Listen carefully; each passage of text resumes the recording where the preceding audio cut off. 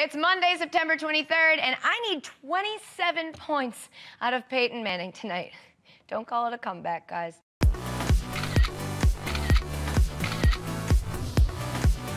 think he's gonna do it? Who's he playing? Sa- the Raiders. He could do it. I need it. Ugh! Fantasy football is gonna give me an ulcer or three. Welcome to No Filter, guys. I'm Katie Nolan, and these are your top headlines of the day. A crazy Dodgers fan decided it would be a good idea to get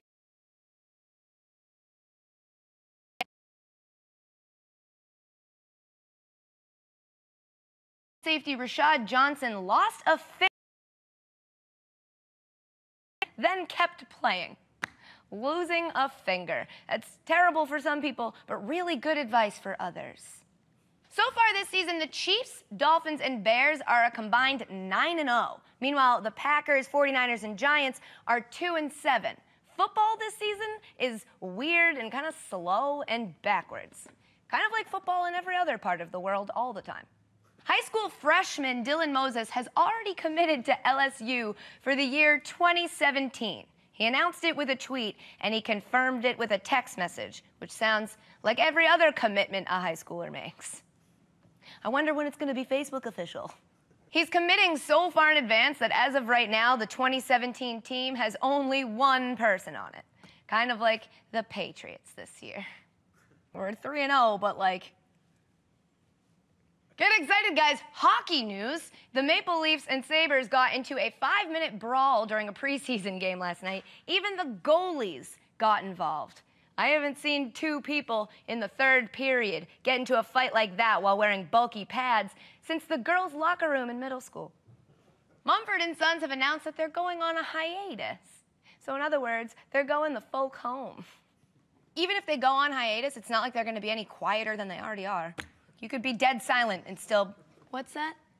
Is that Mumford and Sons? Oh, I went to a Mumford and Sons concert last weekend. I took a nap.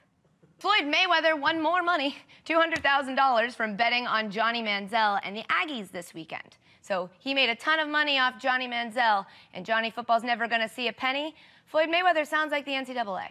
Cornell canceled its men's lacrosse games this season because the team reportedly made its freshman members chug a bunch of beer to the point of vomiting. So that's good. Give those kids in rural New York a lot of free time. They're going to keep chugging beer and vomiting because there's nothing else to do.